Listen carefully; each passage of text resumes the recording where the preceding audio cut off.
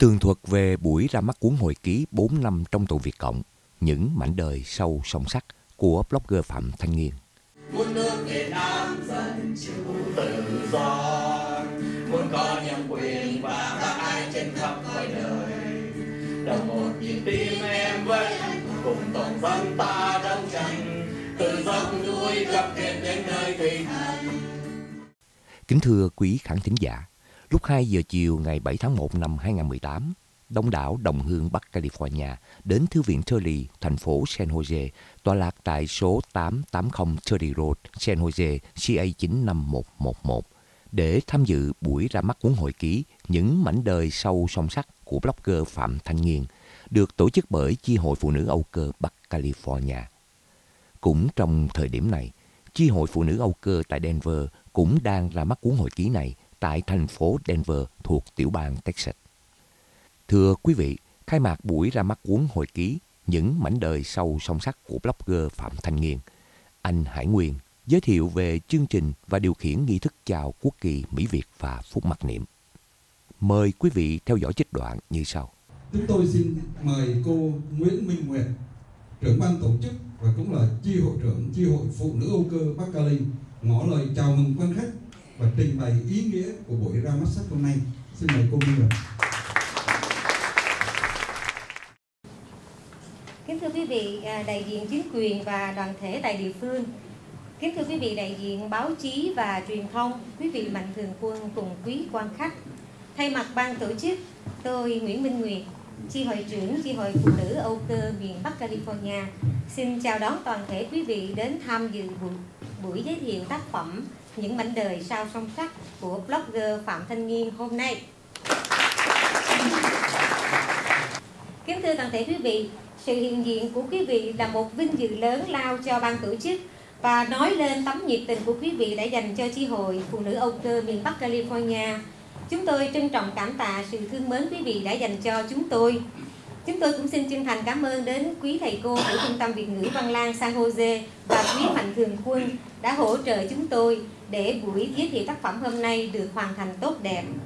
Kính thưa quý vị, Hội Phụ nữ Âu Cơ đã được thành lập từ năm 2010 với tôn chỉ bảo vệ truyền thống, bảo vệ văn hóa truyền thống của dân tộc Việt, yểm trợ phong trào dân chủ tại quốc nội và hải ngoại, hỗ trợ các anh thư trong nước, can đảm đứng lên đòi hỏi dân chủ nhân quyền cho Việt Nam, cứu giúp những phụ nữ bất hạnh và bị ngược đãi do các tệ nạn buôn người, làm gái mại dâm hay làm nhân công nước ngoài Hội hiện có các chi hội trên nhiều tiểu bang tại Hoa Kỳ, cũng như tại Canada, Pháp và Úc.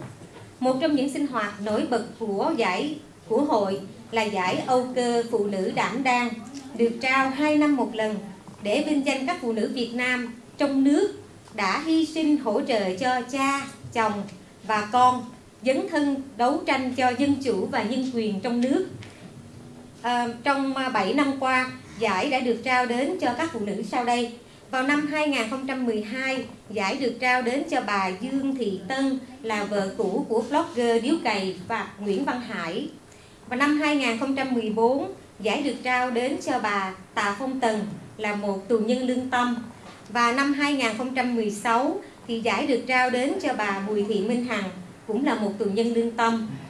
Và cũng cũng chính để thực hiện tôn chỉ của hội Hôm nay, Chi hội Phụ nữ Âu Cơ miền Bắc California đã quyết định đứng ra tổ chức buổi giới thiệu tác phẩm Những mảnh đời sao song sắc của blogger Phạm Thanh Nghiên, một nhà đấu tranh dân chủ và là một cựu tù nhân chính trị của chế độ Cộng sản Việt Nam và hiện đang tiếp tục trực diện đấu tranh kiên cường với guồng máy đàn áp bạo ngược của Cộng sản Việt Nam.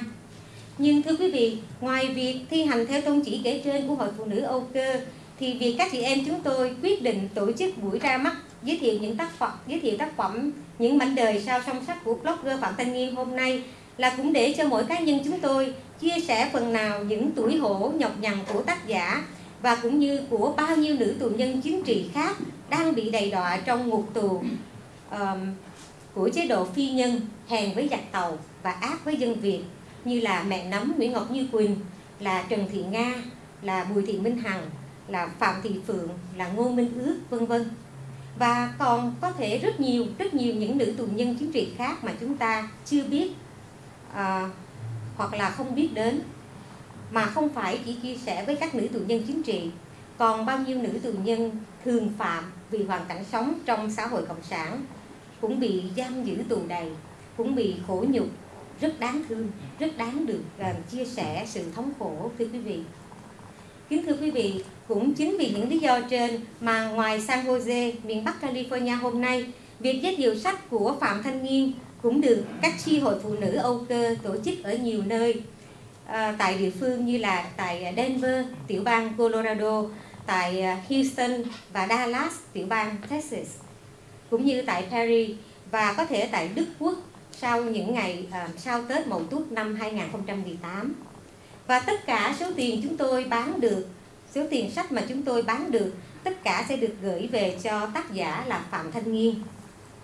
Thưa quý vị, vì tác giả Phạm Thanh Nghiên muốn cho người ngoại quốc cũng biết về à, thực trạng đời sống của tù nhân tính chính trị tại Việt Nam như thế nào, cũng như thấy rõ tính cách giả mang, phản nhân tính của chế độ à, Cộng sản Việt Nam ra sao, nên sách cũng được dịch ra Anh ngữ ở phần sau.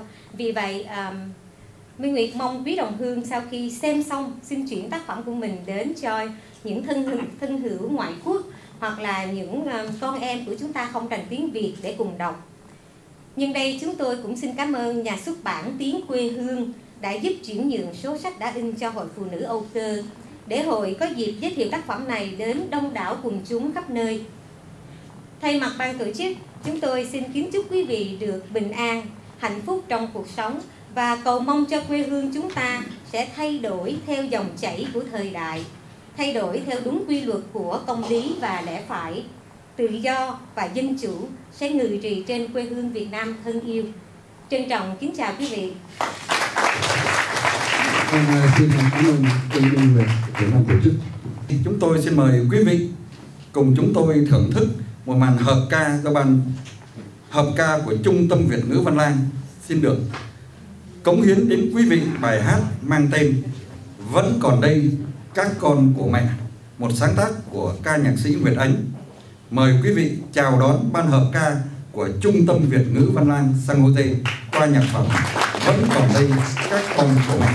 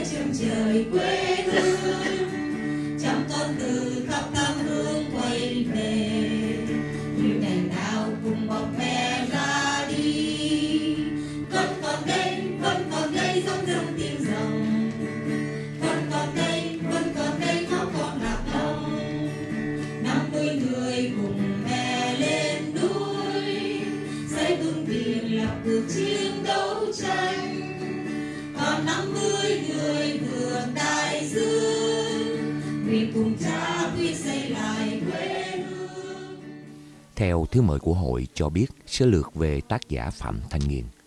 Cô Phạm Thanh Nghiên sinh ngày 24 tháng 11 năm 1977 tại Hải Phòng. Bố mẹ cô đều là đảng viên đảng Cộng sản.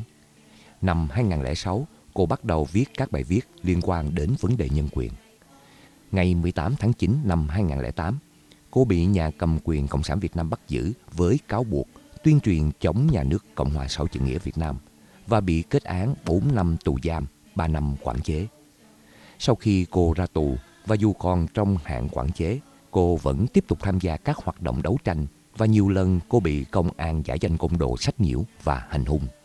Cô sáng lập mạng lưới Blogger Việt Nam và vừa được Tổ chức Nhân quyền Quốc tế Finlay Defenders tại Ái Nhĩ Lan chọn là một trong năm người vào chung kết giải những người bảo vệ nhân quyền bị đàn áp năm 2017. Và cũng trong thư mời cho biết, một số nhân sĩ, nhà văn đã có nhận định về cuốn hồi ký Những mảnh đời sâu song sắt 500 trang song ngữ Việt Anh do tủ sách Tiếng quê hương xuất bản năm 2017. Nhà xuất bản quê hương đã viết Cuốn hồi ký đầu tiên viết bởi một nữ tù nhân lương tâm về kinh nghiệm lao tù dưới chế độ Cộng sản tại Việt Nam. Nhà văn Đào Trường Phúc nhận xét, đọc hồi ký những mảnh đời sâu song sắc của Phạm Thanh Nghiên, không phải chỉ để thu lượm thêm một số dữ kiện về nhà tù Cộng sản, mà còn là dịp ghi nhận thêm nhiều yếu tố giúp chúng ta theo dõi những chuyển biến chắc chắn sẽ tới từ cuộc đấu tranh kiên cường, quyết liệt của người tự nguyện dấn thân để đòi lại dân quyền căn bản cho 90 triệu đồng bào. Nhà văn Vũ Thư Hiên nhận xét, nhưng còn một điều chưa rõ ràng mà tôi muốn nói đến, ấy là bút pháp của tác giả trong bài Uất ức biển ta ơi và trong những bài báo khác tôi thấy bóng dáng một văn tài. Nhà hoạt động nhà văn Nguyễn Xuân Nghĩa, Hải Phòng nhận định Và khi lịch sử sang trang, tôi tin chắc sẽ có tên của người phụ nữ nhỏ bé chúng ta nói đến hôm nay, Phạm Thanh Nghiên. Nhà văn Trần Phong Vũ nhận định dù cô khiêm tốn cho rằng chỉ chứa đựng một số rất ít những câu chuyện vụn vặt, chấp vá, nhưng ở vị trí người đọc cộng với nhận xét về những đóng góp âm thầm nhưng quyết liệt của tác giả trước và sau ngày vào tù, tôi có thể đồng ý với cô nếu chỉ xét về những con số. Vấn đề ở đây là người đọc chỉ có thể ngừng lại ở những con số vô tri để đánh giá một công trình tiềm ốc. Câu trả lời dứt khoát là không. Hẹn gặp mẹ cha trong ngày hồi lớn Hẹn gặp lại nhau trong ngày Việt Nam Là ngày giải phóng Là ngày hạnh phúc thanh bình ngàn nơi Là ngày giải phóng nước non gian đời Là ngày hạnh phúc thanh bình ngàn nơi.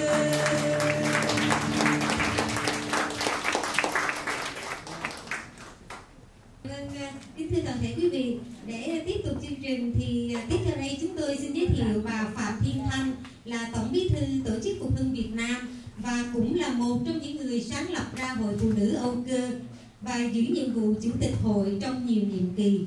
Bà Phạm Thiên Thanh sẽ trình bày về tác giả, tác phẩm Những mảnh đời sao song sắc. Xin mời bà Phạm Thiên Thanh.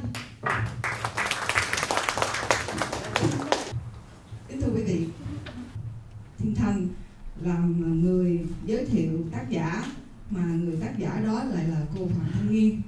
Thì à, Phạm Thanh Nghiên là một người phụ nữ có bốc à, bốc dáng rất là mảnh mai. Cô lại là một người phụ nữ rất là can đảm, à, kiên cường. Nếu ví dụ quý vị đọc cái quyển hồi ký những mảnh đời sau song sát nghe giống như là thanh Thanh giới thiệu hay là quảng quảng cáo cái cuốn sách đó nhưng mà phải phải nói thật á là khi mình đọc á thì mình mới thấy được cái sự can đảm và sự kiên cường của cô ha. thứ hai cô là một người tuy là sinh ra sau năm 1975 cô lớn lên trong lòng chế độ cộng sản cha mẹ cô đều là đảng viên của đảng cộng sản hết à, trong cái cuốn hội ký đó cô có kể một đoạn là mỗi năm tới sinh nhật của Hồ Chí Minh là cô rất là mừng tại vì cô được ăn được ăn ngon. Tại vì cha của cô đó là rất rất trước đây rất là tôn thờ Hồ Chí Minh. Cho nên mỗi năm đó là cô chỉ trông chờ tới ngày đó thôi. Nhưng mà tới một lúc nào đó thì cha của cô cảm thấy rằng là cái cái sự tôn thờ của mình nó không đúng. Thì ông lấy tấm hình nó xuống. Trong nhà có tấm hình của ông Hồ Chí Minh. Ông lấy tấm hình nó xuống thì cô rất là buồn. Cô kể là cô rất là buồn là tại vì cô không được ăn nữa không được ăn ngon nữa. Đó. Thì à, nhưng mà vì vậy cho cho nên cô nhìn thấy cái bộ mặt thật của đảng cộng sản việt nam. Và cô có một cái lập trường dứt khoát tức là phải loại bỏ chế độ cộng cộng sản này. Và cô quyết tâm thực hiện cái quan điểm của cô. Thứ ba nữa cô là một người rất là khiêm tốn. Một lát nữa đây đó khi mà à, phát cái cái phần tâm tình của cô với lại chúng ta đó thì mình sẽ thấy cái giọng nói của cô rất là khiêm tốn. Và nó cũng thể hiện qua trong cuốn sách là mặc dù là cô là tù nhân à, ở trong à, ở trong à, à, tù cộng sản thì những cái lần mà thanh nói chuyện với lại cô á thì cô kể về những cái đau đớn à, khi mà bị à, đánh đập bị công an khi là như cái lúc cô à, được mãn tù xong rồi cô về nhà. Trong cái thời gian quản chế đó cô à, tỏa kháng ngay trước nhà thì à, công an đánh đập cô. Và đánh đập đà cả cái người mà lúc đó chưa phải là chồng của cô. À, nhưng mà đánh đập thì, thì qua cái điện thoại thì thanh niên có nói với lại à, thanh rằng là à, rất là đau chị. Nhưng mà nếu mà quý vị đọc cuốn hội ký đó thì quý vị sẽ không thấy cô nói gì nói gì về cái nỗi đau của cô hết. Mà cô chỉ nói về nỗi đau của những người khác thôi. À, có một cái điểm đặc biệt mà thiên thanh rất là thích. Đó là cái lúc mà cô nói về cái sự đối đáp giữa cô với lại một anh công an. À, à, hỏi cung cô. Thì cái anh công an này đó tên là Nguyễn Thành Dương. Anh ta à, đem một cái bài thơ ra để anh ta làm nản trí cô.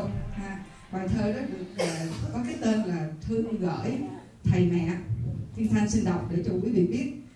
Cái bài thơ đó là ai về làng cũ hôm nay thư này đưa hộ cho thầy mẹ tôi con đi mười mấy năm trời, một thân, một bóng, nửa đời gió sương. Thầy đừng nhớ, mẹ đừng thương, cầm như đồng kẽm, ngang đường bỏ rơi. Thầy mẹ ơi, thầy mẹ ơi, tiếc công thầy mẹ đẻ người con hư.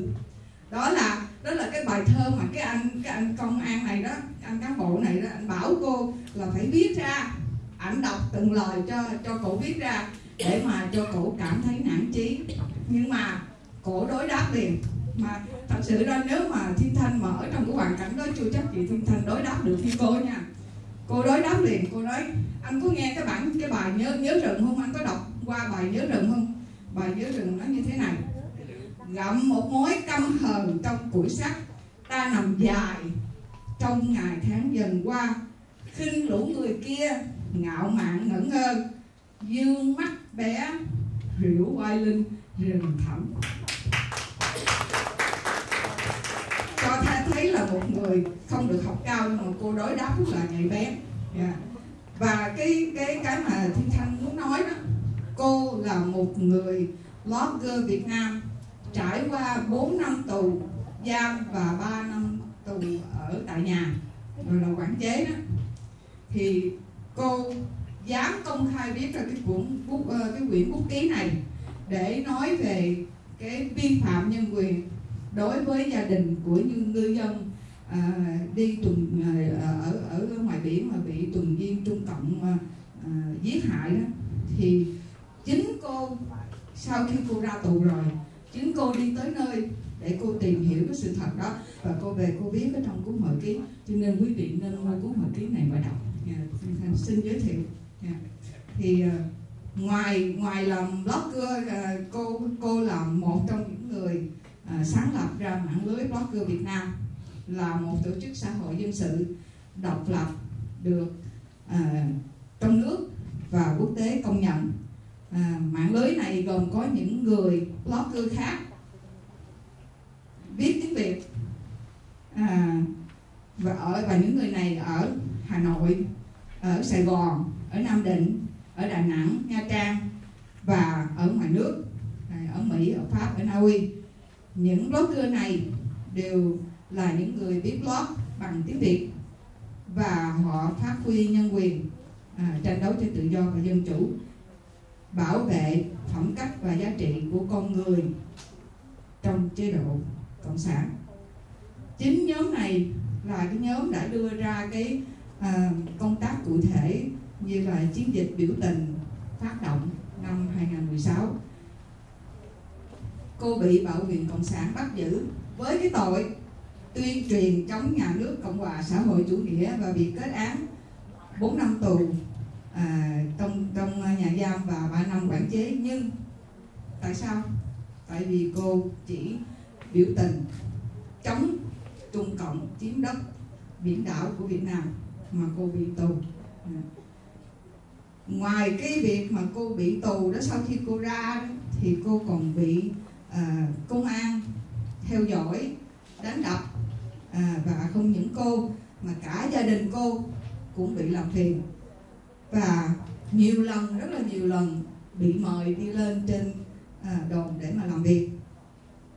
Ha, tuy là bị hành hung nhưng cô vẫn tiếp tục tiếp tục viết lót lót tiếp, tiếp tục uh, lên tiếng thì à, cho nên ngày 30 tây tháng 3 2017 cô là một trong năm người được uh, tổ chức nhân quyền quốc tế Frontline Defenders tại Ái Mỹ Lan chọn là à, để để mà vào chung kết giải thưởng những người bảo vệ nhân quyền bị đàn áp năm 2017 ngay cả khi cô đi làm giấy tờ để kết hôn cô cũng bị nhà nước cộng sản việt nam bác bỏ cái đơn đó.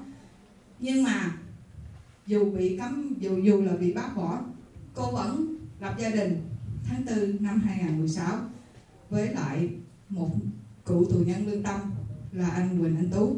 Và hiện giờ hai người đã có một cô cháu bé bé gái. Dạ, cảm ơn.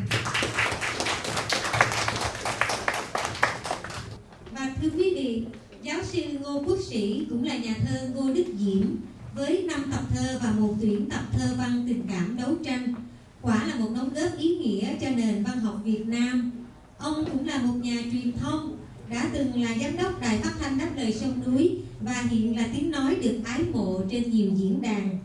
Nhưng đáng nói nhất, ông là người đã tích cực dấn thân đấu tranh giải thể chế độ cộng sản nhằm thiết lập một nước Việt Nam dân chủ, tự do, nhân bản. Thiết tưởng là để giới thiệu con người đấu tranh Phạm Thanh Nghiên với tác phẩm Những mảnh đời sau song sắc, khó tìm được ai thích hợp hơn giáo sư Ngô Quốc Sĩ. Minh Nguyệt xin mời quý vị một tràng pháo tay chào đón giáo sư Ngô Quốc Sĩ.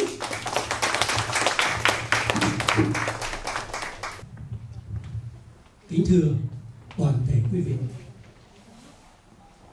Viết về tù Cộng sản thì đã có rất nhiều tác phẩm được thế giới biết đến.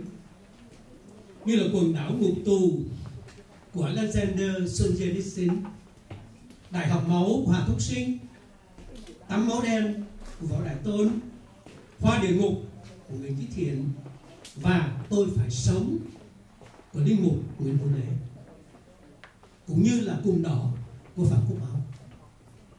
Nhưng mà đó là những nam tù nhân đã viết về tù cộng sản và hôm nay, chúng ta được biết tới một khuôn mặt nữ sánh vai cùng những nam tù nhân đó để viết về tù cộng sản. Và đây là một cái điểm rất đặc biệt, đó là cô phạm thanh nguyên với tác phẩm những mảnh đời sau sâu sắc tên cuốn sách những mảnh đời sau song sắc một nửa tiếng Việt, một nửa tiếng Anh 512 trang. Và là nói đến nội dung của tác phẩm đây là một cuốn bút ký ghi lại bằng tim óc bằng máu và bằng nước mắt. Về những mảnh đời nhục nhã nhất, đau đớn nhất và man rợ nhất ở trong bốn bức tường tù cộng sản Việt Nam. Nếu cõi động lực nào đã thúc đẩy Phạm Thanh Nghiên dấn thân đấu tranh và thực hiện cái tập bút ký này, thì cô đã viết thổ lộ như thế này. Chúng tôi không thể sống và thức dậy mỗi sáng để đón nhận sự sợ hãi. Không còn cách nào khác, chúng tôi phải bước qua. Và chính khát vọng tự do, khát vọng được sống với đầy đủ quyền con người của mình đã thúc đẩy chúng tôi đi về phía trước. Đó là lời tuyên bố của Phạm Thanh nghiêm. Đi về phía trước để làm gì? Nhà văn Vũ Thư Hiên nói là để quét rác xã hội. Không phải đâu. Phạm Thanh Nghiên không chỉ quét rác xã hội như là một nhà hoạt động xã hội, mà Phạm Thanh Nguyên, Phạm Thanh Nghiên quét rác xã hội chủ nghĩa, thưa quý vị. Tại vì xã hội chủ nghĩa mới là thảm họa của nhân loại và mới là tội ác tội đồ của dân tộc Việt Nam. Cho nên đây là quét rác xã hội chủ nghĩa. Chứ không phải là quét rác xã hội tại vì dưới chế độ cộng sản thì Việt Nam là một nhà tù lớn, nhốt cả dân tộc. Và còn có những nhà tù nhỏ hủy diệt tinh hoa của đất nước. Cho nên phạm thanh nghiên viết như thế này. Cái địa ngục không cần đợi đến lúc chết mới nếm trải nó là địa ngục trần gian, mang tên nhà tù cộng sản. Đó là lời của phạm thanh nghiêm. Và từ địa ngục đó, dân việt đã chịu bao nhiêu quan khiên. Nhắc tới cuộc cải cách ruộng đất để giết chết gần nửa triệu người vô tội. Rồi nhắc lại, biến cố mậu thân đã trôn sống 5.000 người vô tội rồi nhắc tới những trại tù đã hủy diệt bao nhiêu tinh hoa của đất nước. Và nhắc tới những cuộc vượt biển chạy trốn cộng sản, bao nhiêu người đã bỏ thân ở biển khơi, bao nhiêu người để dũng mềm trong tay hải tặc. Đó là tội ác cộng sản. Và hôm nay, trên 90 triệu dân Việt cũng đang bị đầy đọa ở dưới gông cùng cộng sản. Mọi tiếng nói tự do đều bị bóp nghẹt và chính vì vậy, phạm thanh nghiên từ nhà tù cộng sản, cô đã nói lên, khát vọng tự do, khát vọng được sống với đầy đủ quyền con người. Thật hiên ngang và thật đáng cảm phục. Tròn quét rác xã hội chủ nghĩa là một thách đố lớn lao, bất chấp bạo lực, vượt qua sự sợ hãi, dám đối đầu với một chế độ công an trị. Trước đây nhân văn giai phẩm đã mô tả đó là những bộ máy chém giết. Và bùi minh quốc đã gọi đó là giàn thiêu. Thì hôm nay, phạm thanh nghiên cũng sẵn sàng đối đầu với chế độ công an trị đó. Và cô đã biết rằng đó chỉ là máu, là tâm tối và độc ác. Cô viết như thế này. Ở đó có sự tâm tối, độc ác, có mùi máu tươi với tiếng thét kinh hoàng của những con người vô tội, lời của Phật Thanh Nghiên hiển nhiên, cuộc sống tù đầy cũng mang bản chất nhục nhã, khổ đau, đói rét bệnh hoạn tra tấn cực hình. Nhưng dưới ngòi bút Phạm Thanh Nghiên người ta sẽ thấy cái tính chất man rợ cầm thú phi nhân bản của cộng sản Việt Nam. Nguyễn Chí Thiền đã khẳng định, trước khi đào tạo đảng tính cộng sản Việt Nam đã đào tạo thủ tịch. Thật vậy, cộng sản chỉ là một thảm họa đau thương, chém giết và hủy diệt, và Phạm Thanh Nghiên đã viết như thế này. Cần thẳng thắn thừa nhận nhà tù cộng sản là mọi khổ đau cùng cực, mọi nỗi bất hạnh nghẹn ngào là đau thương, rệu rã, mệt mỏi tâm tối và cả chết chóc. Là sự tàn bạo và bất lực là nhẫn tâm, thủ quán, là trông đợi, tuyệt vọng, là nỗi chết. Và là địa ngục địa ngục của những người đang còn hít thở, đi lại và cười và khóc. Đó là lời của phạm thanh nghiêm. Đời sống tù nhân sau song sách bi thảm hết chỗ nói.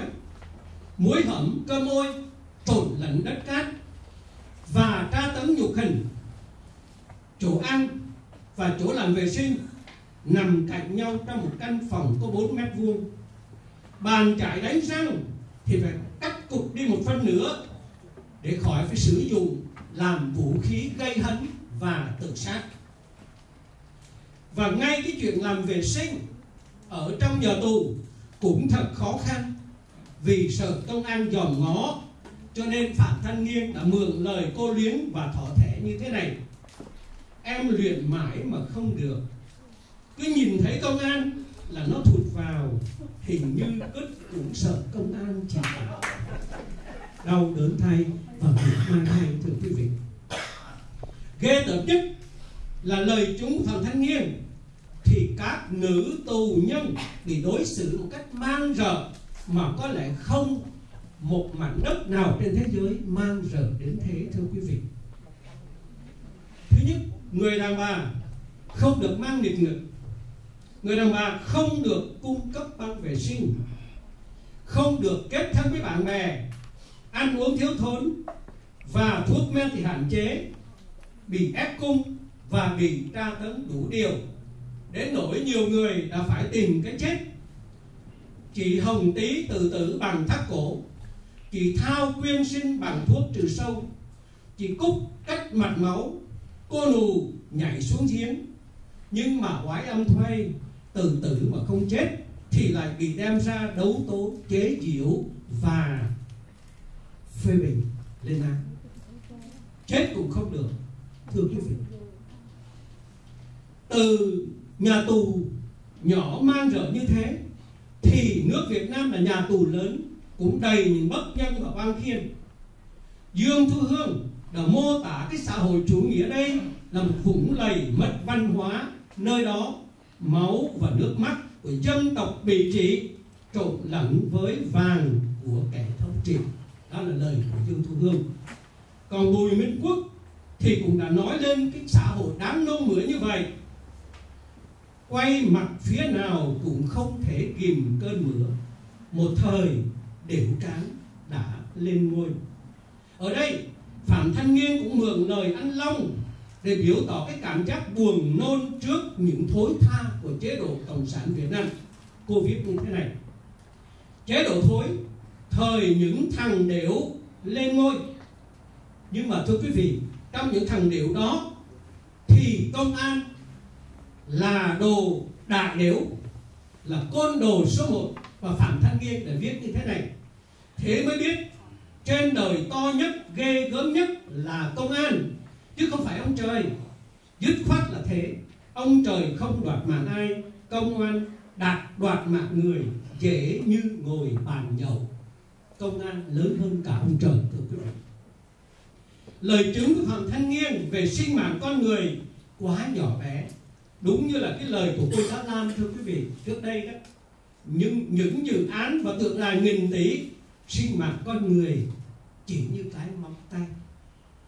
Phạm thanh nghiên thấy rằng sinh mạng con người cũng quá nhỏ bé, nhỏ hơn cả cái móng tay, thưa quý vị.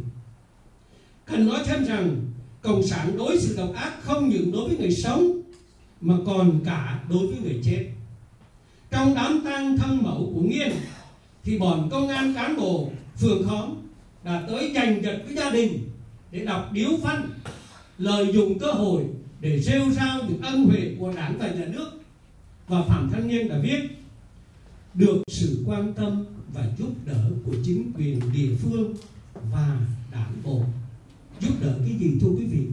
Thầy phạm thanh niên hành hạ phạm thanh niên như vậy, hành hạ bao nhiêu người tù như vậy, mà đó là ân huệ của đảng bộ, nhà nước thưa quý vị. Miễn man quá chúng ta biết rằng bản chất cộng sản là xảo trá, lừa đảo.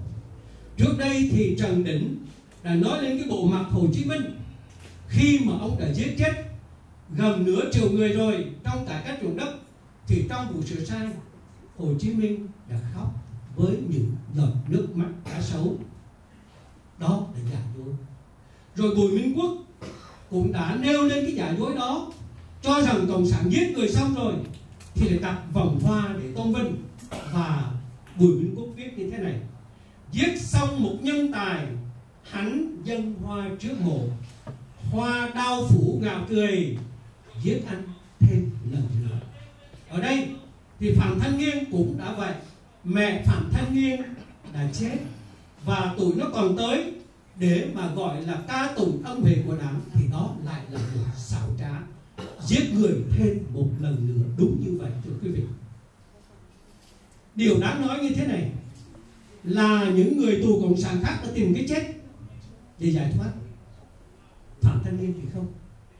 Cô nói rằng cô phải sống, tại vì cô phải hứng chịu những đau đớn đó để mà luyện trí, để mà nuôi hận thù đối với cộng sản.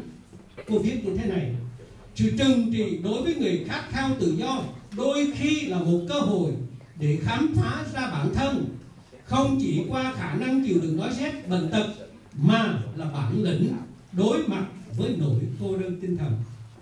Và cô đã vượt qua được cái bức tường sợ hãi đó. Phạm thanh nghiên đã tìm thấy, mở ra trước mặt mình một con đường và cô đã viết như thế này.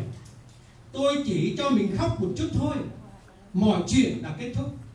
Đang bắt đầu một chặng đường mới, chặng đường mù mịt và tăm tối chính tôi phải thắp sáng đường đi cho mình. Bởi tôi không phải là ai khác, mà chính tôi đã chọn cho mình một con đường. Đó là con đường tự do. Phạm thanh nghiên đã tìm thấy con đường tự do. Đó là con đường của dân tộc và con đường giải thể cộng sản việt nam. Và bước vào con đường tự do đó thật đầy trông gai. Nhưng phạm thanh nghiên đã tin vào cái lẽ tất thắng của chính quyền quốc gia. Tất thắng của toàn dân việt. Trong một cái cuộc đối chất với một tên công an đó là đinh trọng chiềm, thì khi mà đọc cái lệnh bắt giữ đinh trọng chiềm nói như thế này chị Nghiên ơi thì thua rồi. Thì Phạm Thanh Nghiên đã đáp lại bằng một tuyên ngôn hùng hồn với giọng điệu, tôi phải nói là xúc thật. Không, tôi tôi thắng chứ tôi thắng các anh về chính nghĩa. Tôi thắng các anh về lẽ phải. Tôi thắng các anh về lòng yêu nước. Tôi thắng các anh về lương tâm và trách nhiệm. Tôi chỉ thua các anh về cơ bắp mà thôi. Nhưng các anh không thể dùng vũ lực mãi được. Vũ lực sẽ dẫn các anh đến thất bại. Đó là lời tiên tri của phần thanh niên. Và chắc chắn cộng sản đến thất bại. Và ngày về của chúng ta sẽ không còn xa. Mặc dù bây giờ nhà tù cộng sản việt nam vẫn còn giam giữ biết bao nhiêu chiến sĩ, mẹ nấm trần huỳnh duy thức cũng như là nguyễn văn đài, lê quốc quân. Nhưng nhà tù phải mở ra. Tiếng thét của phạm thanh niên tại nhà tù sẽ vang đồng trong con tim người việt trong nước và ngoài nước. Và đó là vũ khí đấu tranh chân việt vùng lên cuộc khởi cộng sản bảo tàng sẽ ra đi cảm ơn phạm thanh niên và chúng ta hẹn một ngày sẽ gặp phạm thanh niên tại việt nam thưa quý vị xin cảm ơn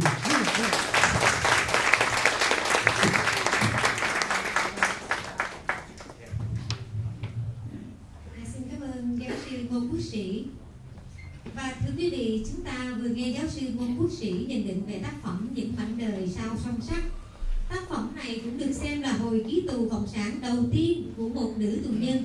Như vậy thì có những khác biệt gì so với um, những mảnh đời sao song sắc của, của um, so với những mảnh đời sao song sắc của hồi ký tù cộng sản của các uh, uh, tù nhân nam giới mà chúng ta đã từng đọc qua.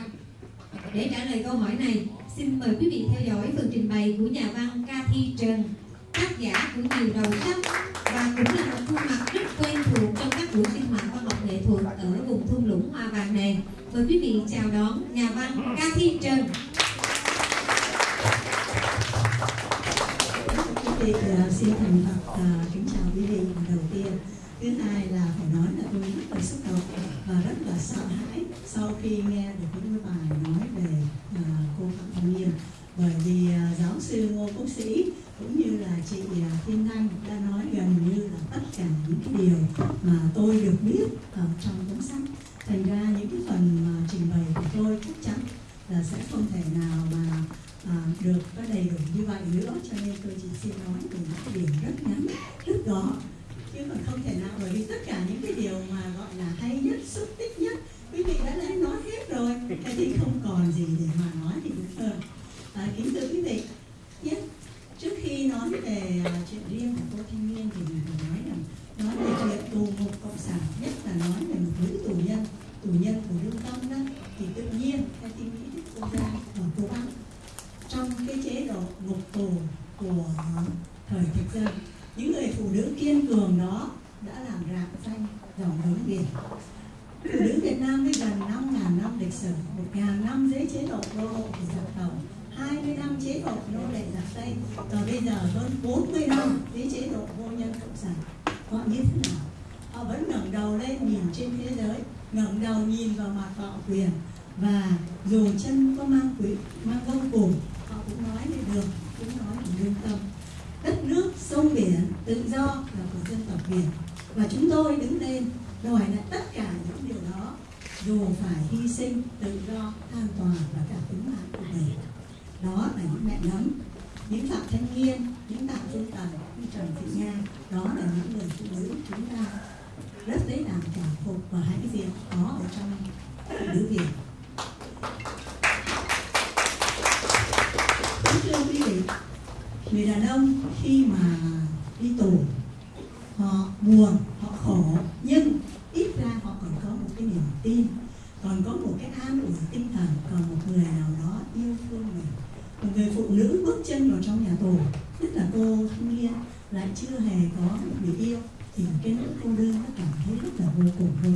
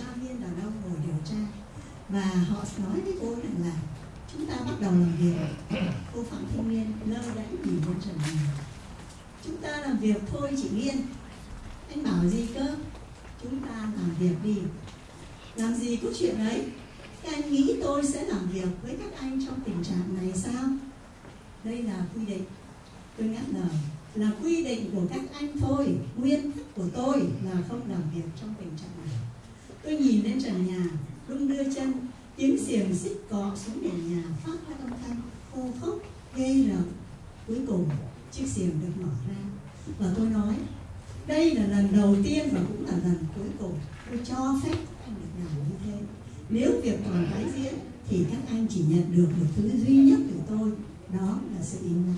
Kính thưa quý vị, tôi nghĩ cái điều này rất rất là can đảm. Bởi vì bất cứ lúc nào họ có thể đăng tiền tại chỗ bởi vì họ quá và những cái đó không có biết ảnh hưởng gì đối với họ hết. Dĩ nhiên là họ cũng sử dụng, không phải lúc nào họ cũng như thế, nhưng mà họ cũng sử dụng những phần tâm lý. Ví dụ như là đọc cái bài thơ của Nguyễn Bính là cô trả lời bằng bài thơ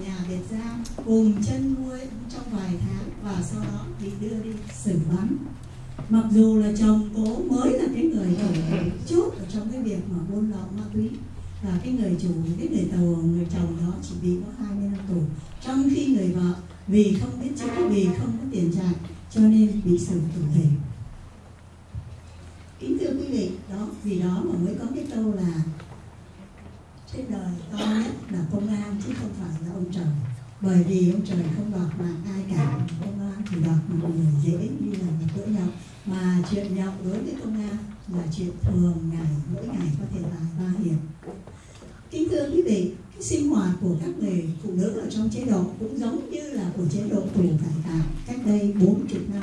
Đói khát triển biên bị gông cùm, bị biệt giam bị khủng hoảng tinh thần. Chuột bò cứ tự do sinh hoạt trên những món ăn, trên những chén cơm hầm của người tù để ngoài tù họ và cái bệnh, cái người phụ nữ khi vào trong đó cũng có một nằm ở trên bệ xi măng. Trên cái bệ xi măng đó cũng có những cái cổ có thể là người ta giữ lại từ thời các ông đại tạng. Vẫn có cái cụm đó để khi nào cần họ sẽ biệt ra họ cụm người phụ nữ vào trong đó. Và khi mà họ đi vệ sinh tại vì cái, trong cái phòng đó như là giáo sư bác sĩ đã nói tức là nó chỉ có 6 mét vuông. Cái phòng đó là hai cái bệ nằm để cho hai người tù bị biệt ra nằm. Có cái cùm rồi sau đó ở bên phía bên trong thì là chỗ chỗ phía bên ngoài để để thức ăn chút xíu cách chừng hai ba bước chân là chỗ để đi vệ sinh. Quý vị thử tưởng tượng cái đồ ăn để cách chỗ đi vệ sinh hai ba bước vào vệ sinh không phải là những cái phòng vệ sinh mà nó là cái bô thì quý vị sẽ nghĩ đến cái, cái, cái, cái thân phận của người nữ tù như thế nào. Tuy nhiên vì vậy cho nên mới xảy còn một cái chuyện nữa phụ nữ luôn luôn thứ nhất là cần làm đẹp, cần làm vệ sinh. Thứ hai là làm đẹp. Đấy là đối với các bạn ở đây. Nhưng mà cái căn bản nhất là cần vệ sinh. Thì cái vấn đề tắm rửa của người phụ nữ như thế nào? Một tuần được tắm hai lần. Tất cả các nữ tù trần chuồng tắm chung ở ngoài sân. Và cái đó là bất kể mùa nào. Kể cả mùa đông, tháng đá ở ngoài bắc. Quý vị thấy mùa đông ở đây, nếu chúng ta ra ngoài sân, chúng ta mặc bao nhiêu lớp áo? Ở đó họ phải tắm như vậy 5 phút 7 phút để gội đầu với một xô nước. 5 phút sau để tắm 5 phút sau để giặt đồ. Và mỗi thứ chỉ một xô nước. Nếu vi phạm thì sẽ 7 ngày không được tắm giặt, không được đánh răng, không được thay quần áo. Quý vị sẽ tưởng tượng cái người phụ nữ mà 7 ngày quý vị không được làm cái gì và quý vị bẩn thỉu như thế nào trong một cái nhà tù như vậy thành ra chúng ta thấy cái đó là nó vi phạm cái nhân quyền của người ta vô cùng. Rồi tại sao lại có những đứa bé phải sinh trong một tù? Mẹ đã có bầu mẹ đi đi tù. Khi mà vào trong tù, cực khổ như vậy, mẹ muốn bán con. Rồi mẹ, nếu mà không phải bán con thì ôm con được ra ngoài. Ôm con được ra ngoài với một cái chế độ không có lối thoát, không có nghề nghiệp thì họ sẽ đi như thế nào? Trở lại con đường cũ và những đứa trẻ sẽ tiếp tục con đường của những người cha người mẹ như vậy và chúng ta thấy cái tương lai của cả một đất nước của cả một dân tộc sẽ như thế nào. Vì thất vọng quá và vô không có đường đi cho nên họ đổi giới tính ở trong tù. Tức là những người phụ nữ họ tự động họ muốn đóng vai người đàn ông. Tại vì họ không còn cái, cái không có cái sự gọi là liên hệ nào với nhau cho nên họ đổi giới tính. Một người xưng ra là tôi là đàn ông. Bắt đầu là là ăn nói cho qua trợ một chút. Bỏ cái áo định ngực ra, trở thành đàn ông và họ yêu nhau, họ ở với nhau, họ đánh nhau, họ chửi nhau, rồi họ là ở với nhau. Và vì như vậy, cho nên càng ngày những cái xã hội nó càng tồi tệ và người ta xảy ra những cái tuyệt vọng. Người ta tự tử. Ví dụ như tôi, cô nụ mà giáo sư ngô quốc sĩ có nói đến cô nụ được cái đặt tên là nụ giếng tại vì cô nhảy xuống giếng cô tự tử mà khổ lắm nó không chết.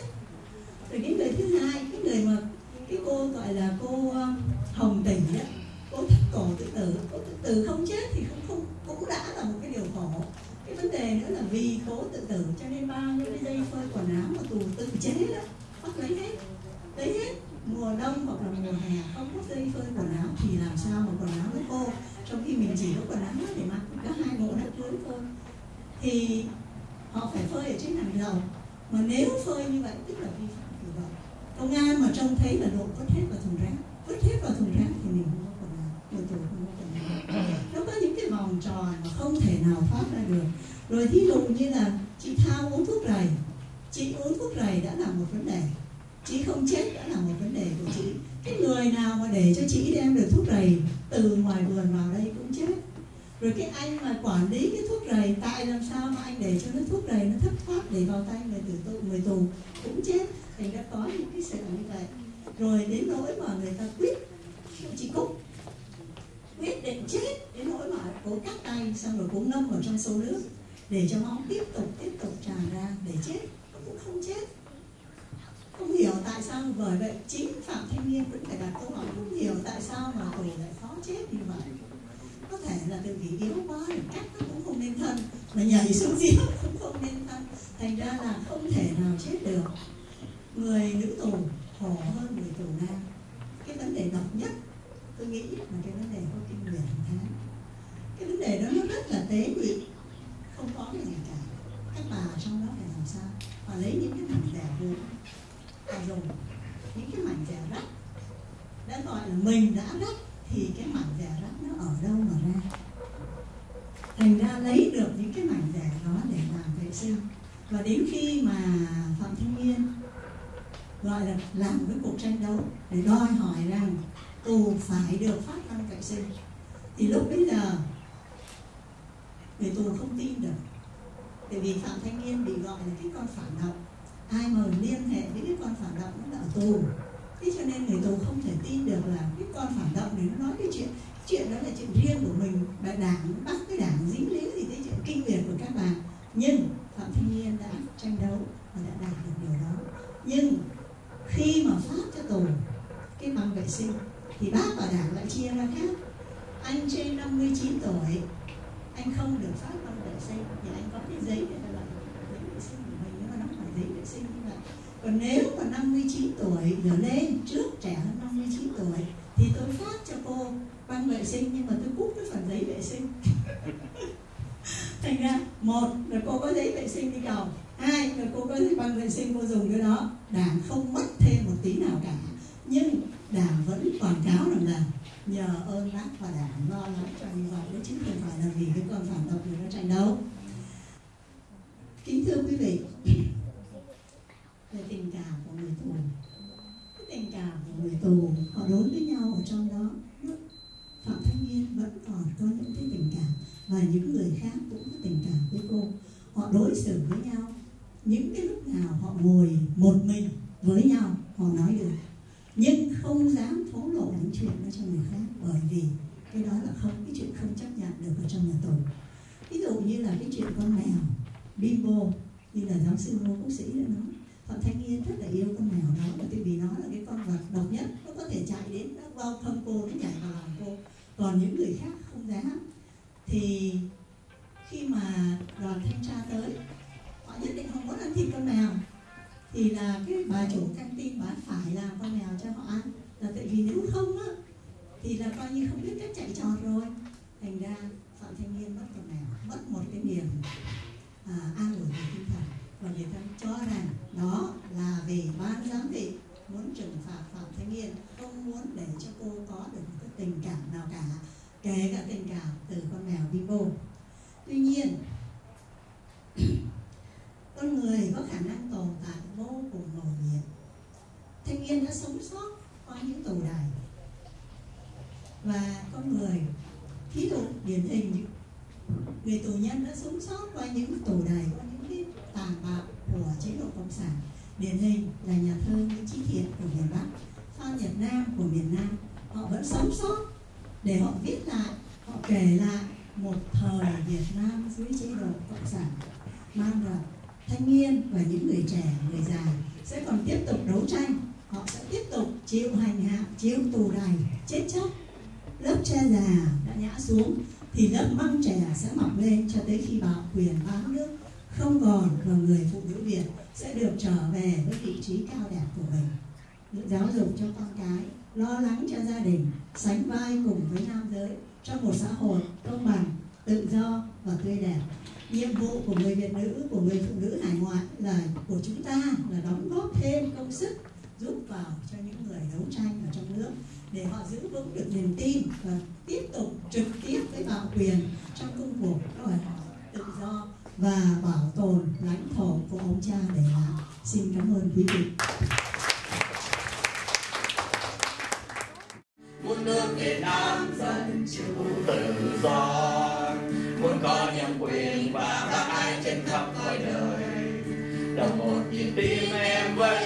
cùng toàn dân vâng, ta đang tranh. Từ dốc núi khắp thiên đến nơi thủy hà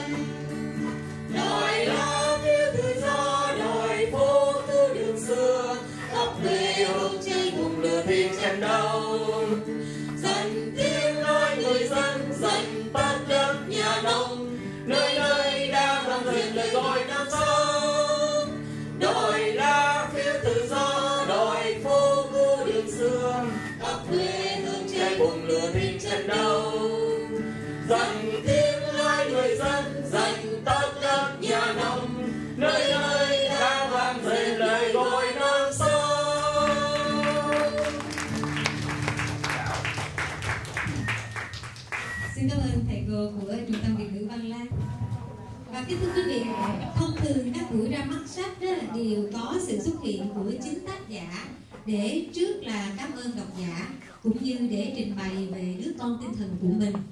Thế nhưng như quý vị và chúng ta ở đây đều biết là với các hoạt động của cô phạm thanh nghiên thì chắc chắn là cô không thể nào có mặt với chúng ta trong ngày hôm nay.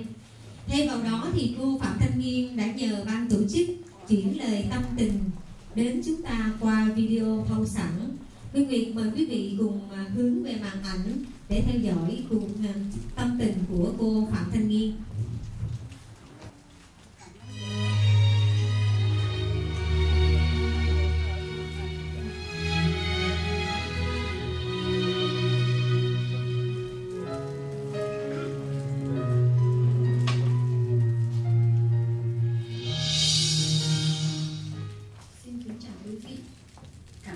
Quý vị đã cho tôi cơ hội để được tâm sự, tâm tình ở trong cái buổi ngày hôm nay. À, xin cho tôi gửi lời chúc mừng năm mới tới tất cả các cô chú bác anh chị em. Xin chúc các cô chú bác anh chị em năm mới dồi dào sức khỏe, bình an. Chúng ta cùng cầu nguyện để Việt Nam thơ sớm thoát khỏi ách động tài toàn trị. Thưa quý vị, năm 2017 quả là một năm đặc biệt và nhiều niềm vui với tôi. Tôi vừa sinh một bé gái vào đúng dịp sinh nhật 40 tuổi của mình ngày 24 tháng 11 vừa rồi. Niềm vui thứ hai là tôi đã hoàn thành cuốn sách Những mảnh đời sau song sắt ghi lại một số những câu chuyện mà tôi đã trải qua ờ, và chứng kiến trong thời gian 4 năm tù giam của mình khi còn ở trong tù, tôi thường tự nhủ rằng à, khi mãn án sẽ dành một khoảng thời gian vài năm để viết một cuốn tự truyện hoặc là viết một tí kể lại quãng thời gian ở tù của mình. Tuy nhiên khi trở về thì tôi nhận thấy rằng những hoạt động phong trào, những ờ, hoạt động tranh đấu cần thiết hơn nhiều so với việc mình ngồi ở nhà để viết lại những năm tháng tù đầy của mình. Trong khi ờ, đối với nhiều người khác thời gian 4 năm của tôi có thể quá ngắn ngủi và nói như cánh tù nhân từng nói, nó chỉ là một giấc ngủ trưa mà thôi. Tôi rất tâm đắc với câu nói của nhà văn vũ thư hiên, cũng là một cựu tù nhân lương tâm. Tác giả của cuốn tự truyện nổi tiếng đêm giữa ban ngày. Ông đã viết trong phần phiên lộ của tôi một câu rằng, người Việt Nam ở tù nhiều lắm mà thường là tù lâu. Đúng, người Việt Nam ở tù nhiều và tù lâu có người đi tù những mấy chục năm trời. Ờ, nhất là những cựu quân nhân cán chính Việt Nam Cộng Hòa và ngay cả đối với những người cộng sản bị chính đồng chí của mình bắt hại, tống vào tù. Thì so với các vị đó, những năm ở tù tôi không là gì cả. Tuy nhiên thì tôi cũng có dành thời gian rất nhỏ trong cái quỹ thời gian của mình để viết một phần nào đó. Tôi xin nhắc lại mà dù tôi đã viết ở trong cuốn sách của mình những gì tôi đã viết ra đã kể ra chỉ là một phần rất nhỏ một phần một góc nhỏ những gì mà tôi muốn viết và những gì tôi đã trải qua. Và sau này nếu có điều kiện có lẽ tôi sẽ viết tiếp. Thưa quý vị nếu như uh, ai đó muốn tìm kiếm những câu chuyện về các cái cuộc vượt ngục ly kỳ hay những cái màn tra tấn về thể xác Ờ, của cai tù hay của công an dành cho tù nhân thì những điều đó không có trong cuốn sách của tôi. Nhưng tôi tin chắc rằng nhiều người sẽ ngạc nhiên khi biết rằng trong nhà tù, cai tù thường phát minh ra những cái điều rất ghê gớm và khó có thể hình dung được để mà trừng trị, để áp đặt lên người tù ví dụ như là không cho tù nhân nữ đánh răng rửa mặt hay thay quần lót trong một tuần, chỉ vì những cái lỗi rất nhỏ. Ví dụ như là uống nước xong rồi để một cái ca nhựa mà phát ra tiếng động trong cái giờ mà người tù khác đang nghỉ trưa chẳng hạn, hay đang ngủ. Hay là những câu chuyện tự tử không chết thì bị kỷ luật, bị đấu tố với một cái lỗi là tự hủy hoại thân thể tôi nghĩ rằng không ai, không nhiều người hình dung được trong nhà tù là có chuyện mua chỗ mua chỗ để được ở những cái chỗ nó rộng hơn một chút, nó sạch sẽ hơn một chút. Trong tù, những câu chuyện tôi trải qua, tôi chứng kiến là có những bà mẹ phải bán con mình hay có những người mẹ phải rất ruột, lìa xa đứa con mình để gửi con mình đến các cái trại trẻ mồ côi vì không có ai nuôi và để cho bản thân mình tiếp tục ở tù tiếp tục thụ án. Có những đứa trẻ phải đi tù oan bởi vì mẹ chúng phạm tội. Nhiều người mang bầu mà phải đi tù. Mà theo cái luật của Việt Nam ấy, thì là khi mà phụ nữ mà có thai hoặc nuôi con nhỏ dưới 36 tháng tuổi không phải thụ án. Hay có những cái câu chuyện à, mà tôi đã kể ở trong một cuốn sách của mình. Nếu quý vị đọc thì sẽ thấy được uh, tôi đã phản ánh một số cái điều ở trong đấy.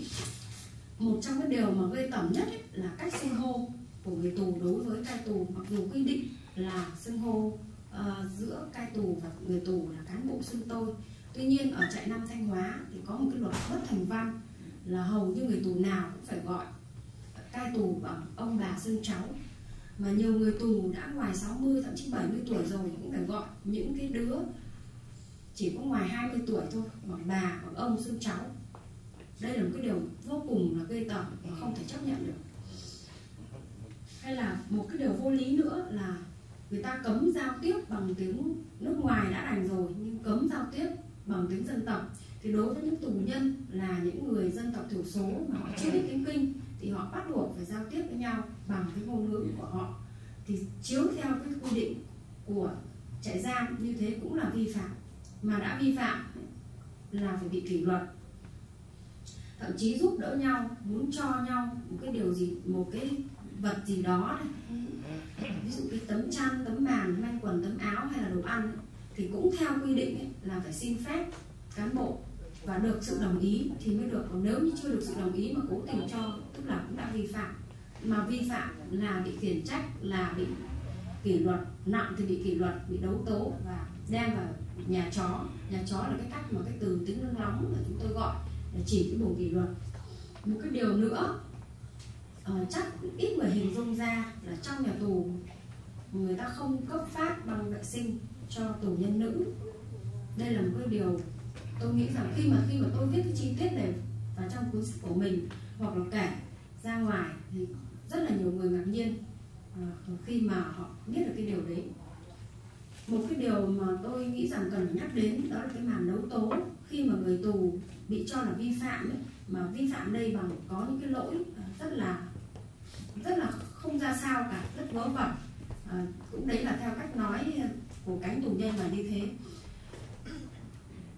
Nhẹ thì bị cảnh cáo mà nặng thì bị kỷ luật. Nhưng mà bị gì chăng nữa thì trước khi bị kỷ luật nhận quyết định kỷ luật thì cai tù cũng đem cái người tù ấy ra đứng trước sân trại để mà đấu tố để mà xì vả với sự chứng kiến của tất cả các tù nhân khác và của chính cai tù nữa. Nhưng mà tuy nhiên thì tôi nghĩ rằng là tôi cũng không nên nói nhiều về cuốn sách của mình ờ, để dành để cho những ai mà có nhu cầu ờ, quan tâm ờ, tìm đọc cuốn sách của tôi. Nhưng mà theo suy nghĩ của tôi ấy, thì nếu như nói Việt Nam là một nhà tù khổng lồ để ám chỉ việc Việt Nam không có nhân quyền, tự do và dân chủ thì tôi tin chắc rằng không chỉ những người dân sống trong lãnh thổ Việt Nam mới là những tù nhân. Tù nhân còn là những người Việt Nam ở nước ngoài đang định cư ở những nước tự do nhưng đã góp tiếng nói về quốc nội để mong muốn Việt Nam có nhân quyền để mong đất nước được thay đổi cũng là những tù nhân. Tôi gọi đó chính là những người tù bị cầm tù ở bên ngoài biên giới. Bởi vì chúng ta đã ghi nhận nhiều trường hợp, những người Việt Nam chỉ vì lên tiếng đòi nhân quyền cho Việt Nam mà không được nhập cảnh. Có lẽ tôi cũng không nên nói nhiều hơn nữa. Nhưng qua đây, tôi xin gửi lời cảm ơn tới ban tổ chức đã tổ chức những buổi ra mắt sách này. Tôi xin gửi lời cảm ơn tới hội phụ nữ ưu cơ, đài phát thanh đáp lời sông núi tôi xin cảm ơn tới những tác giả đã viết lời bình cũng như lời giới thiệu cho cuốn sách này. Các nhà văn Uyên Thao, Trần Phong Vũ, Đào Trường Phúc, nhà văn Nguyễn Xuân Nghĩa, nhà văn Vũ Thư Hiên, nhà báo Vũ Đông Hà. Một cách đặc biệt, tôi gửi lời cảm ơn tới người bố nuôi của tôi là họa sĩ Trần Thúc Lân ông đã khích lệ tôi để tôi có thể viết lên những trang viết như thế. Cảm ơn chị Lam là con gái của họa sĩ Trần Thúc Lân đã miệt mài dịch sách cho tôi. Và cũng một cách đặc biệt, tôi gửi lời cảm ơn tới tủ sách tiếng quê hương. Nói về tủ sách tiếng quê hương, tôi xin trích ờ, một vài câu uh, nhỏ giới thiệu về tủ sách tiếng quê hương để chia sẻ cùng với quý vị. Tủ sách tiếng quê hương ra đời là mong góp phần lưu lại những cảnh ngộ cùng tâm tư của người dân Việt Nam đắm chìm giữa bão táp lịch sử. Hầu giúp thêm chứng liệu cho những người muốn tìm hiểu thực tế giai đoạn mà chúng ta có mặt. Và xa hơn là lưu lại cho các thế hệ mai sau tiếng nói chân thực nhất của các chứng nhân về một giai đoạn của đất nước mình. Và tất nhiên, không thể không cảm ơn đến độc giả. Tôi xin gửi lời cảm ơn tới những vị đang, các cô chú bác anh chị em đang hiện diện nơi đây. Cảm ơn độc giả đã yêu mến và quan tâm đến cuốn sách của tôi. Bởi vì nếu không có độc giả thì dù có viết tới 100 cuốn sách cũng là điều vô nghĩa. Và cuốn sách này tôi xin gửi tặng lại cho những người đã đấu tranh đã dấn thân và hy sinh trong thầm lặng. Mong rằng một ngày nào đó Việt Nam sẽ sớm có tự do, dân chủ, nhân quyền. Và những cuốn sách như thế này không chỉ được bán, được ra mắt hay được lưu truyền ở nước ngoài hay là bị bí được bí mật lưu truyền ở trong nước nữa một ngày nào đó mong rằng những cuốn sách như thế này sẽ được công khai ra mắt ở Việt Nam và được nhiều độc giả đón nhận mà không phải bị trừng phạt hay bị cấm đoán mong sẽ có ngày chúng ta được hội ngộ trên quê hương Việt Nam thực sự có tự do, nhân quyền và dân chủ. Xin cảm ơn.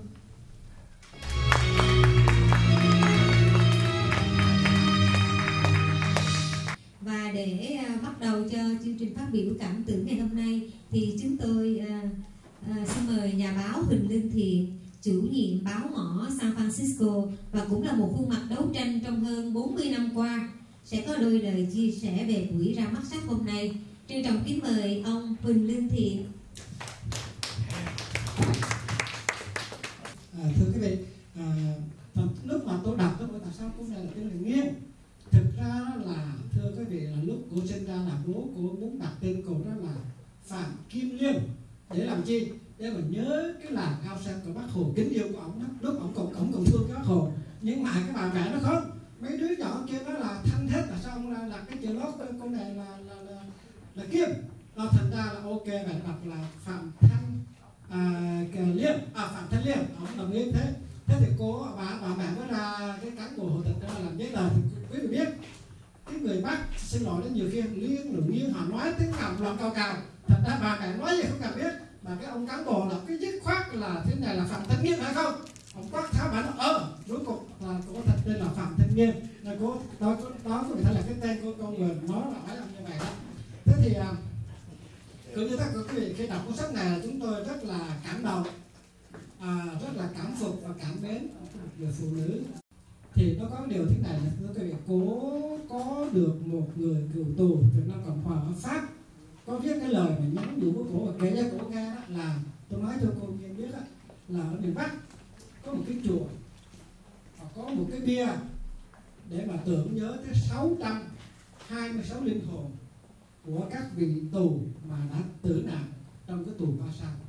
Đó và cổ nghe như vậy thôi và cổ đã một mình khăn gói đi tìm. Và thưa quý vị và sau một cái thời gian thì có tìm được. Đó có thể tìm được một cái chùa nhỏ ở miền Bắc và trong đó có một cái à, bia thờ là 626 linh hồn tử vong tại đài Ba Sao từ năm 1975 đến năm 1988 và thưa quý vị ngay cả bị gọi là gọi là trụ trì cũng rất là ngại ngùng rất là ngại ngùng khi biết là tại sao có người biết tại cái chùa mình có cái miếu thờ như thế này. Đó ông cũng à, sau khi tin tưởng thì ông cũng có tìm ra và cô đã chụp ngay cái tấm hình này thưa quý vị. Chỉ trong một cái trại tù ba sao thôi mà ghi danh tánh đầy đủ là hương đinh thứ 626 người tù từ Nam Cộng Hòa. Và thưa quý vị và cái việc này ai làm? Ai làm? Cái ai đề nghị và ai chủ xướng việc làm? Cái bia đá này thưa quý vị một quản giáo đại tù. Một quản giáo đại tù họ đã làm cái điều này có thể do lương do lương tâm thúc đẩy và cũng có thể người ta giải thích là do do họ sợ rằng 626 linh hồn này sẽ là quấy nhiễu trừng phạt họ nhưng mà nó là sự thật. Ngoài ra thưa quý vị đó thì à, có cái điều chúng tôi xin nói đó là cô phạm thanh nghiên này không phải chỉ của đấu tranh để mà kẻ ác kẻ xấu cái chế độ mà cô cũng nghĩ tới việc tìm ra một cái giải pháp. Thì cô nói thế này trước vào diễn biến gần đây nhiều người khá lạc quan cho rằng chỉ một hay hai năm nữa thôi, mọi thứ sẽ thay đổi. Chúng ta sẽ hoàn tất sứ mệnh giải thể độc tài bởi cộng sản đã rượu đã lắm rồi. Tôi nghĩ khác. Hơn lúc nào hết, phong trào dân chủ đang đứng trước những khó khăn vô cùng lớn bởi đã bị cuốn vào cuộc chiến chống ngoại xâm. Dù cộng sản rượu đã đến mấy đi chăng nữa thì vẫn có thể hồi sinh nếu không gặp một sức ép nào đáng kể từ quần chúng đây là thời điểm để chúng ta nghĩ đến chuyện bắt đầu hơn là chuẩn bị cho kết thúc. Thì cái điều này tôi rất hoàn toàn với phạm thanh niên, thì tôi thưa các vị thế nào tôi cũng thường nói. Thì chúng ta nói là ô cái tình hình Việt Nam bây giờ là cộng sản bao nhiêu sắp tiêu tới nơi rồi, cộng sản bây giờ là bao nhiêu tiêu tôi nói đúng. Cái đảng cộng sản bây giờ giống như là một võ sĩ già bình hòa, đang lão đảo trên võ đài. Nhưng thưa vị, chưa có đối thủ.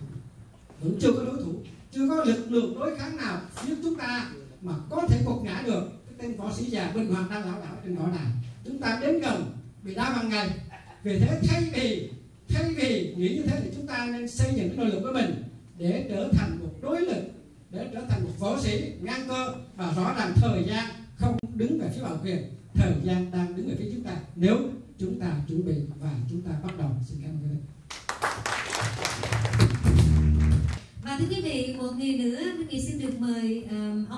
có đôi lời phát biểu về buổi ra mắt sách ngày hôm nay. Xin mời bác sĩ Trần Công Luyện. Cảm ơn ban tổ chức thật sự đây là một cái điều mà tôi không nghĩ đến và tôi không có chuẩn bị gì hết tuy nhiên, sau khi được nghe vị trưởng ban tổ chức rồi giáo sư ngô quốc sĩ rồi cô Cathy Trần, rồi mới đây là báo nguyện Nhân Thiện. Tất cả những điều đó tôi lấy làm hết sức là ngạc nhiên là tại sao quý vị lại có buổi ra mắt sách hấp dẫn như thế này? Và thưa quý vị, à, như chúng tôi đã trình bày ngay từ đầu là toàn bộ số tiền bán sách chúng tôi thu được à, ngày hôm nay ở à, Bắc Cali cũng như ở tất cả những tiểu bang trên nước Mỹ và ở những nước ngoài tất cả tiền bán sách được chúng tôi đều gửi về cho chính tác giả là blogger Phạm Thanh Nghiên 100% chúng tôi không lấy một hoa hồng nào của phần bán sách. Thưa quý vị, sau lời cảm ơn quan khách của cô Minh Nguyệt, trưởng ban tổ chức, buổi giới thiệu sách kết thúc vào lúc 4 giờ chiều cùng ngày. Quý vị muốn mua sách Những mảnh đời sau song sắc của Phạm Thanh Nghiên với giá 25 Mỹ Kim, xin liên lạc với tủ sách tiếng quê hương email uyên.thao.dc at gmail.com hoặc uyên.thao174 at yahoo.com. Sách giao tận nhà, thêm lệ phí bưu điện là 3 Mỹ Kim tại Hoa Kỳ hoặc 10 Mỹ Kim ngoài Hoa Kỳ. Check money order xin trả cho VLAC tiếng quê hương. Mỹ lợi tường thuật từ San Jose xin thân ái kính chào quý vị. Xin chân thành cảm ơn toàn thể quý vị đã cùng ngồi lại với chúng tôi đến giờ phút cuối. Minh Nguyệt và ban tổ chức xin cảm ơn toàn thể quý vị.